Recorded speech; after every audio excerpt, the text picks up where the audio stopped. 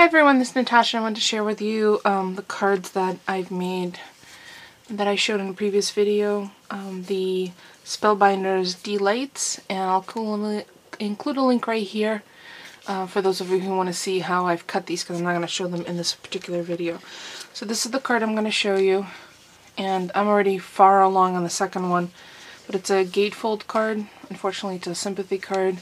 But I thought that, you know, there's really no reason why sympathy card can't be pretty. Um, if anything, maybe this will just bring a little bit of a smile to the person's, the recipient's face. So, ooh, sorry about that. Um, so I'm going to show you, I'm going to walk you through how I created the card. Um, unfortunately, I don't have a blank to show you. So I started off with a white Staples uh, cardstock. So it's an 8.5 by 11. I cut it the long side in the center. And then I did this gatefold. And for those of you who make a lot of cards, or want to make a lot of cards, I cannot say enough good things about the Score Buddy because um, they toted it as a card maker's dream tool and it actually is extremely handy. I love the size of it. First of all, it comes with a little pouch so it doesn't get dirty or glitter covered, which often are um, side effects of, oh, sorry, having it on my desk. It has a lot of um, already built-in cool things. So here's the little scoring tool, which pops into its own little housing so you never misplace it but it has a couple of really cool um, markers already on the um, inch top ruler which uh, shows you the four and a quarter which is the half fold for a standard A2 size card. And this little marker the two is it two and an eighth? That's the gatefold card. So I just took the half um, the standard A2 size half a eight and a half by 11 sheet of paper. I lined it up here and I scored it at two and an eighth, uh, flipped it, scored it again two and an eighth, and then folded it in. And that's what it, that's how I got this gatefold card. Just like that. So there's the score lines. See right there? And I flipped it over. Score line, folded it, uh, burnish the edges with this um, tool and I was all good to go. Then I layered my favorite black cardstock. Um, see if, if I can give you the dimensions quickly. I'll have a full list of, excuse me, I just drank some seltzer and it's trying to reappear. Um, I'll have all the dimensions along with the full product list on my blog, which I'll include a link in the description below, along with a close-up with some close-up photographs, because sometimes it's hard to see all the detail in the video. So the gatefold flaps are two and an eighth by uh, five and a half. The black layer is one and seven eighths by I think five and a quarter. Then there's a pink paper layer, and it is just, um, oh, I think it is cardstock actually. One and uh, three quarters by five. And then the pattern paper is one and, oh, my dork, one and a quarter, or one, just shy of one and a half by four and three quarters. Now the pattern paper that I used is um, this Prima Rondelle collection.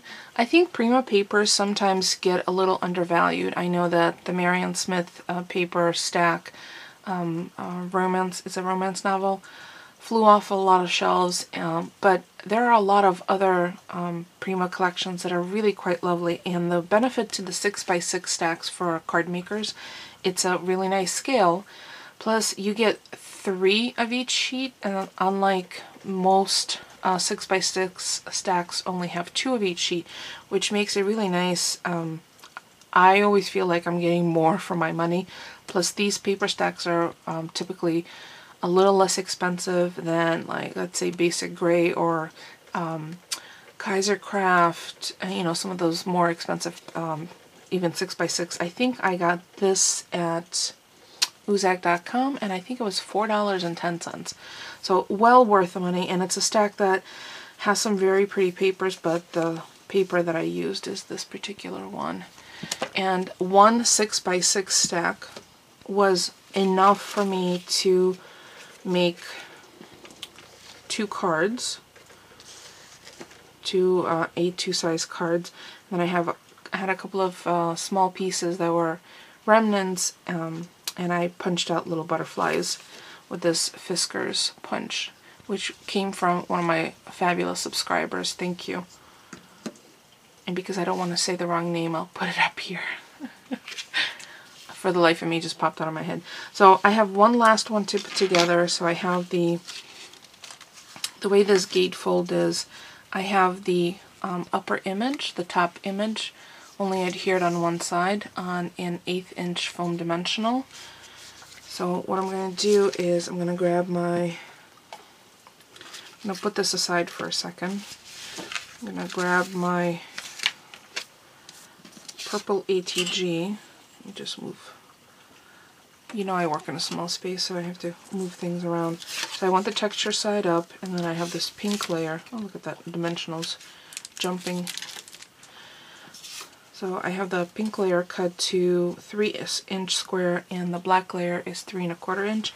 I'm going to use the half inch tape because you um, need to use less and less is economical. So let's see if I can do this over the camera. And I'll go right here. And then the other question that I received was regarding how to attach this really delicate image. So what I'm going to do is I'm going to use the Zig two-way and I have a um, pair of tweezers on hand which will help me position it. And remember I'm also working from behind the camera. It's on a tripod in between my knees. So see, just I just knocked it. So all I'm going to do is add, and this comes out pretty quickly because this is a pretty fresh one. So I'm going to add it to all of the solid pieces and I'm going to leave the little stems without glue. I found that that works the best. Just want to make sure I don't have too much glue on and then I'm going to grab my tweezers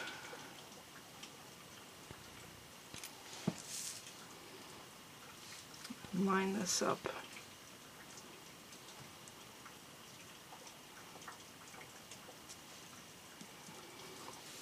And now I know I have glue just on the flowers, so I'm going to press down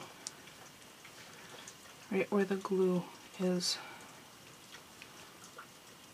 so you don't get that extruded extra glue issue.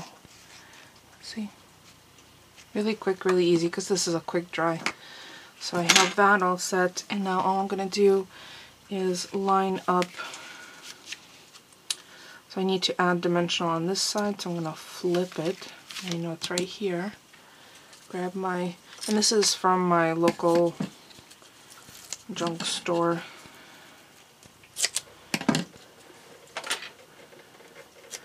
I'm going to line this up.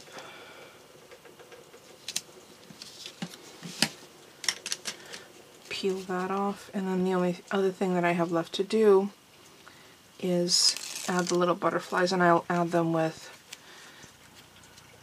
the same glue. So I want to make sure that since I've already stamped the sentiment on the inside, and the sentiment is from Stamps of Life uh, by Stephanie Bernard called Branches for Flowers, and it's just a really simple with sympathy. So let's see if I can again line this up from behind the camera. Oh, maybe I should just look at the viewfinder. Uh, there we go. So now it just opens up this way. And now I just have my little three butterflies. I'm just going to bend them in the middle and add the glue. Again, I'll have my tweezers. Because it's usually the easiest way to add.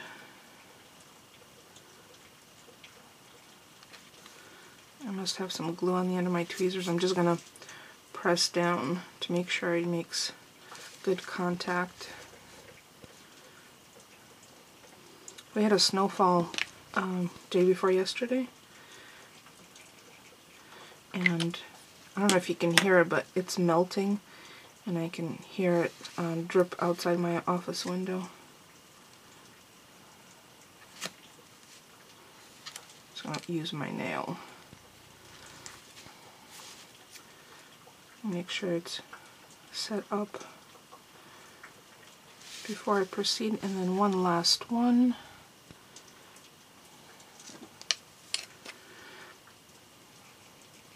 I prefer using this um, Zig 2-Way on smaller items plus items that have, oh see that one popped up.